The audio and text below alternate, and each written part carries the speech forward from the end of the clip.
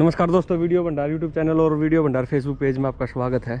भाई, आज आप लोगों को ना एक हार्वेस्टर दिखाऊँगा, जो कि क्लास कंपनी की है क्रॉप टाइगर 60 और आज के टाइम में मार्केट में नहीं मिलती। सबसे बड़ी खास बात, देखो, हार्वेस्टर दिखाने का मकसद ये है मेरा कि भी देखो कंपनी ने कितनी ज़बरदस्त चीज़ निकाली थी। एक हार्वेस्टर और भी खड़ी है अपने पास, वैसे ऐसी बात नहीं है। इन दोनों का थोड़ा छोटा छोटा कंपेयर दिखाऊँगा आप लोगों को। भाई, इस हार्वेस्टर में क्या खास बात दी थी? जो वीडियो बनाने का रीज़न है ये नहीं वैसे हार्वेस्टर दिखा इसमें बहुत कुछ अलग चीज़ दिखा रखी है। दे डाल रखी कंपनी ने। आप लोगों को दिखाऊँगा मैं। एक तो रूटरी ड्रम के साथ में है, जो कि आम मार्केट में आपने कहीं नहीं दिखेगी। वैसे एक बार और भी फिर इसका डिटेल में दिखाऊँगा एक एक चीज़ दिखाऊँगा अंदर तक जाके।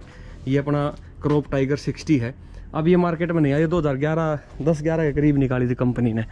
तो इस हार्वेस्टर में और उस हार्वेस्टर में क्या अंतर है? सबसे पहली बात तो ये बता देता हूँ आप लोगों को। देखो सिंपल सा इसमें जो सिंगल चेन के साथ में है। छोटा सा है दिखने में तो ये। लेकिन जो इसका कटर है ना, वो 16 फुट की कटिंग एरिया के साथ में आता है। 16 फुट की कटिंग एरिया के साथ में। और इस मशीन में चौक होने का चांस कम है। इसका रीज़न भी दिखाता हूँ। ये इसका अपना थ्रेसर पड़ा है कोई बाहर। ये है चौरासी इंच का लंबा धान के लिए। ठीक है, जो इसकी लंबाई है रूटरी पंप जो बोलते हैं, ये रूटर के टाइप में घूमेगा इसके अंदर, और इसके अंदर ना ना ना बाहर निकाल देगा। और इसमें ग्रेन लॉस नहीं। और इसमें ये देखोगे ना, इकतालीस इंच का है। ये है इस हार्वेस्टर का, जो अपनी नॉर्मल जो अपने हार्वेस्टर आती है, इकतालीस इंच का। जो कि इनका मुँह भी चौड़ा होता है, फिर भी इसका जो है थ्रेसर की जो चौड़ा लंबाई वो कम है। इसकी देखो कितनी ज़्यादा है। और इसमें स्ट्रो वॉकर नहीं होते। इनमें स्ट्रो वॉकर हैं।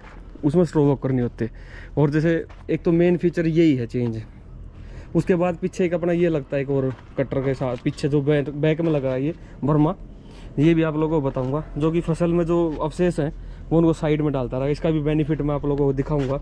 ये बर्मा है जो, इसका वहाँ ज़िक्र करूँगा तो पीछे चलूँगा। तो ये अपना इसका कटर है। 16 फुट की लंबाई के साथ में कटर जो कटिंग एरिया है। और इस कटर के साथ है ना खास बातें कटर की और बताता हूँ आप लोगों को। जो ये कटर है, आपको लगभग लगभग जितनी भी फ़सल है, सारी फ़सल कट करेगा। सरसों है, जो भी है, कोई भी फ़सल है मक्का है, कोई भी फ़सल है, वो सारी कट करेगा। इसमें जो ये टाइन दे रखी हैं, ये छः टाइन है इसके अंदर। एक, दो दो दो हाँ दो पाइप हैं जो ये दो, तीन, चार, पाँच और यह छठी रही। छः पाइप है जो आपने सरसों वगैरह काटनी है तो एक एक पाइप खोल दो। आपका सरसों का काम करेगी बड़े अच्छे तरीके से उसी में। मतलब कंपनी ने इतना सोच के कम हार्वेस्टर बनाई थी बहुत ज़्यादा सोच समझ गए और इसकी जो ये टाइन होती है जो ये इसी जो, ये है ना इसके पाइप के चारों तरफ़ इकट्ठी ये स्टार्टिंग की जब से आई थी तब की ये। आज तक टूटी नहीं। इनको जैसे इसके अंदर पाइप के अंदर होने के कारण स्पोर्ट ज़्यादा मिल गई स्पोर्ट मिलने के कारण थोड़ी बहुत टेढ़ी मेडी हो जाती है लेकिन टूटने का कोई डर नहीं इनका। अभी जो ये जंग लग रहा है भाई क्योंकि ये काफ़ी दिन से खड़ी है पूरा साल अभी सीज़न आ गया चलने का अब चलेगी ये। इसमें अपना फिंगर वगैरह तो वो और तो सारी चीज़ें वही सेम है। और इसकी जो मेन चीज़ है, जो रील चलेगी ना, इसमें एक एज एक क्लच प्लेट कह सकते हैं हम जिसको। जैसे ये देखोगे आप यहाँ पर, ये रिंग दे रखा है रबड़ का रिंग दे रखा है इसमें। और साथ में ये नट के साथ इसमें टाइट कर रखी है, ताकि जब आपकी रील कहीं अटक जाए, किसी भी कारण से तो ये घूमता रहेगा और ये स्लिप कर जाएगा, जिससे क्या है, आपके रील में टूट फूट का चांस ना मात्र। और उससे आप, आपको, पहली बात तो ये रिंग घिसना बहुत लेट घिसेगा। बाई चांस घिस भी गया तो आपका इसका खर्चा एक ही है। बस इसको ये नट खोल लो।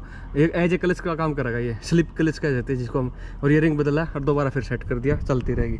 और उस टाइम से ये मोटर देखो, इसके अंदर हाइड्रोलिक जो मोटर आती थी यहाँ पे, वो इसके अंदर उस टाइम से ही है ये मोटर और इसका ये है मेड इन जर्मनी है, जो कि इसमें दिखेगी नहीं, शायद लिखा हुआ।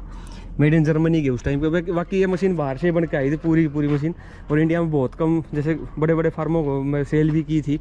कुछ कंपनी ने वापस भी मंगाई थी, लेकिन ज़मींदारों ने दी नहीं। देखो, इसमें ये जो अपना, जो बीच में अपना जो ये ड्रम घूमेगा, जो फ़सल को इकट्ठी करके एक सेंटर में लेके जाएगा और अंदर चढ़ाने के लिए रील में चढ़ाने उसमें भी ये स्लिप कलर से दे रखी। इसके जो स्प्रिंग है, वो अंदर की साइड दे रखे। ये देखो, ये स्प्रिंग दे स्लिप कलर चाहिए भी।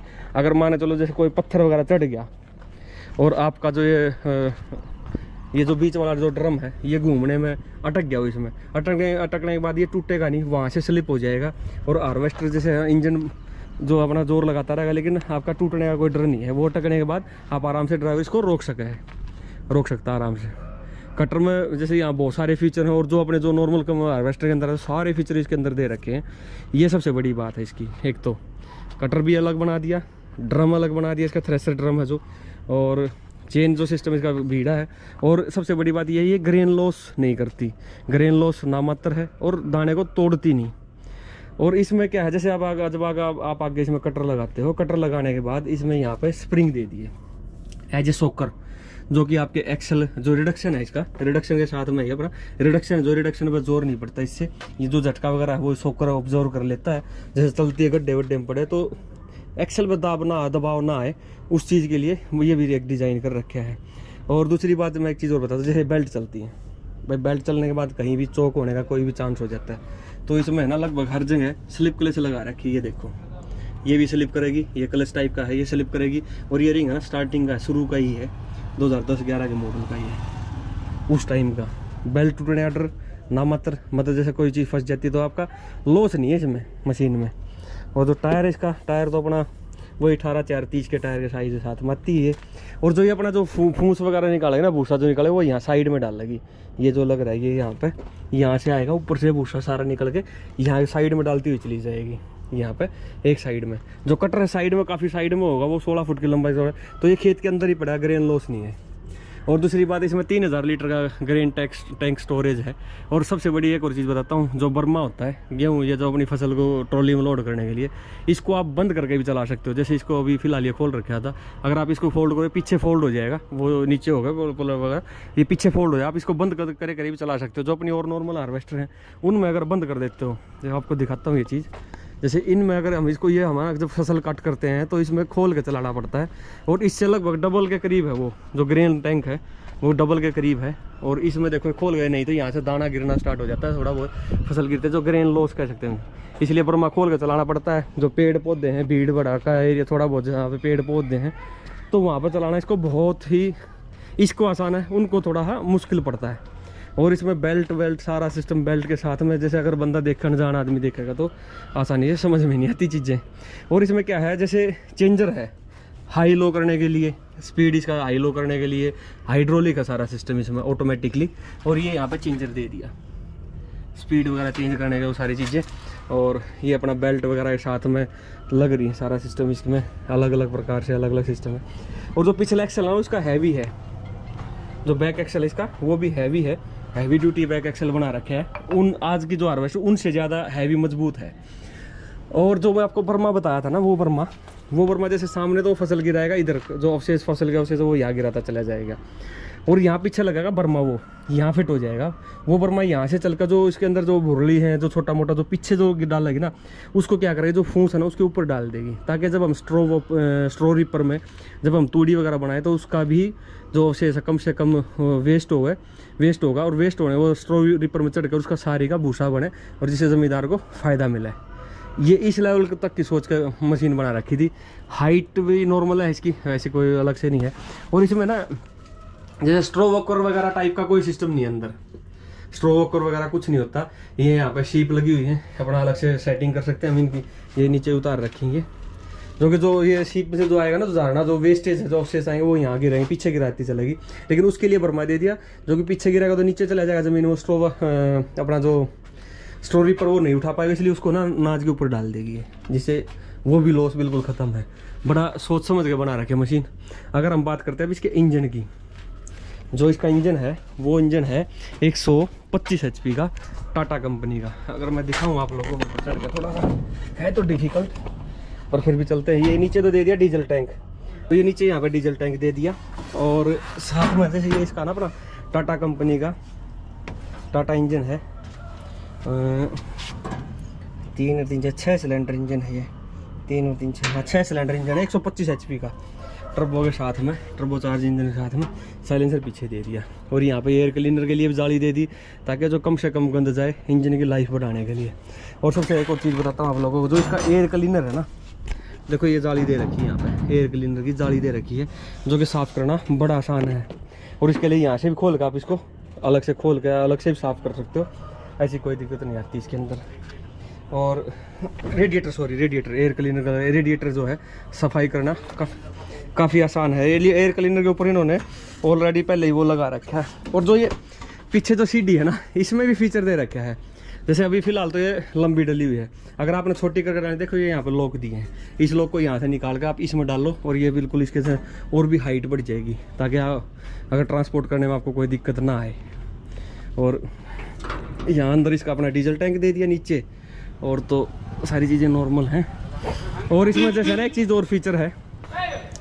जो थ्रेसर का ड्रम है ना उसकी स्पीड हाई लो कर सकते हो आप। हाई लो स्पीड के साथ ऑटोमेटिक हाइड्रोलिक सिस्टम के साथ ऊपर ड्राइवर बैठा बैठा थ्रेसर की स्पीड को घटा भी सकता है और बढ़ा भी सकता है। ये इस हिसाब से यहाँ से दिया हाइड्रोलिक सिस्टम के साथ में। ये अंदर बाहर चलेगी पूरी, जो कि अपने आप ऑपरेटर ऊपर बैठा बैठा अपना सारा काम कर सकता है। एयर टैंक यहाँ पे दे दिया और सारा चेन वेन लगा के प्रॉपर तरीके से वेल मेंटेन कर रखी है मशीन में बहुत दिमाग लगा बनाने वाले ने बहुत ज़्यादा दिमाग लगा है इसके अंदर। और मैं आपको दिखाऊँ एक चीज़ और भी दिखाऊँ आप लोगों को। जो मशीन है ना, मशीन का कटर चलाने के लिए इन्होंने कोई बेल्ट वगैरह सिस्टम नहीं दिया। मशीन का कटर चलाने के लिए ये देखो, रूटर दे दिया यहाँ पे। रोटा बड़े रोटावेटर में जैसे होता है, क्रॉस होता है, इस टाइप का सिस्टम दे दिया। इसको लगा के आप डायरेक्ट अपनी हार्वेस्टर को चला सकते हो, जिससे ना आपकी बेल्ट वगैरह स्लिप होने का चांस ख़त्म। और ये अपना हाइड्रोलिक सिस्टम कनेक्ट करने के लिए भी ऑप्शन दिया है। अपना हाइड्रोलिक सिस्टम कनेक्ट करके आप आराम से चला सकते हो। बहुत सारे फीचर हैं। अभी जैसे बंदा नहीं लेगा, अभी बहुत सारे फीचर तो हमें भी नहीं पता इसके बारे में। काफ़ी अच्छी किफ़ायती मशीन है। जैसे वह और मशीनों के कंपेयर में, जैसे इस मशीन में बहुत कुछ अलग है। जो इसका ग्रेन टैंक है, वो अस्सी पचासी मन तक माल अपना रख लेगा, तीन हज़ार लीटर का है। उससे लगभग डबल है इसका। काम डबल करती है स्पीड बढ़िया इसकी। 125 सौ का इंजन इसलिए कम टाइम में ज़्यादा काम करेगी। गीले लान में जैसे रेत रात को लेट तक चलेगी। और कंपनियों में जैसे ये 2012 मॉडल में है ये। आज के टाइम में ये मशीन नहीं मिलती। बहुत बढ़िया मशीन है। चलाने के लिए ऑपरेटर के लिए सारी चीज़ें काफ़ी ध्यान में रख के मशीन को बनाया अगर मैं आप लोग को ऊपर से दिखाऊँ चढ़ के तो अपना इसका अपना फीटर जो है, जो इसका जो ये फीटर है, जो ये भी लंबा है, देखो भाई। ड्राइवर के लिए कंफर्ट देखने में काफ़ी आसान मिलेगा यो। ये भाई ने भी बताने लग रहा है साथ के साथ में। फीडर इसका लंबा है और मैं ऊपर चल के दिखाऊँ आप लोगों को मीटर वगैरह इसके। तो ऊपर थोड़ा चढ़ना तो मुश्किल है भाई। मतलब मुश्किल तो क्या है? कैमरे के साथ थोड़ा मुश्किल है। और तेरी तो ये देखो, ये ग्रेन टैंक पीछे तक ग्रेन टैंक हो, जाली लग रही सामने। एयर क्लीनर वाली, वहाँ तक ग्रेन टैंक की तरह बड़ा है। और इसको बंद करके अपना आराम से चला सकते हैं। और तो सारे फीचर लगभग वही है। बस जैसे ये यहाँ से है। ये हाई लो स्पीड करने का ये लीवर दे दिया। ये अपना तीन गियर के साथ में है, एक रिवर्स है, तीन गियर रेस वगैरह। और तो सारी चीज़ें नॉर्मल हैं, और तो कोई दिक्कत नहीं है। विजिबिलिटी में कोई दिक्कत नहीं आती। काफ़ी दूर तक का दिखाई देता है इसमें। यही थी छोटी छोटी चीज़ें जो मैं आप लोगों को जो ये, है ना, और दूसरी हार्वेस्टर से। इस हार्वेस्टर ये हार्वेस्टर अलग बनती है थोड़ी सी। भाई, नीचे उतर ले एक बार। पता लगा काफ़ी दूर तो ऊँचे गिरा जा रहा। तो मेन तो ये चीज़ें थी भाई। छोटी छोटी मशीन दिखने में छोटी है फिर, लेकिन काम बहुत ज़्यादा फीचर बहुत ज़्यादा ले रही है ये। तो भाई, चलो, जो मेरे को पता था वो मैंने आप लोगों को बता दिया। और अगर आप लोगों को और कुछ इसके बारे में पता हो तो आप कमेंट करके बता सकते हो। और भाई, जैसी वीडियो लगे कमेंट करके ज़रूर बताना। वीडियो पसंद आए चैनल सब्सक्राइब करना, वीडियो लाइक करना शेयर करना। थैंक यू दोस्तों।